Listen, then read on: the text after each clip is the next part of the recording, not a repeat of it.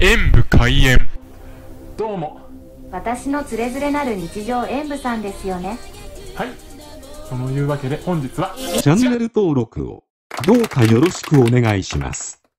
これ、ファミリーマートののびーミルク、エクレアミルクを食べたいと思います。のびーってそんなに伸びるのかなこれ。うん。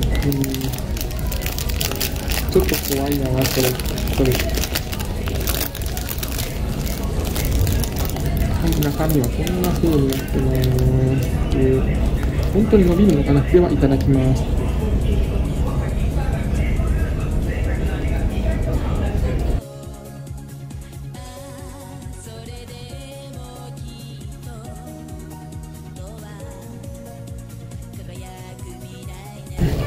ミルクの風味がの？加われとっても美味しかったです。し確かにクリームもちょっと濃度がある感じでしたけどこれ伸びていく感じではなかったですね。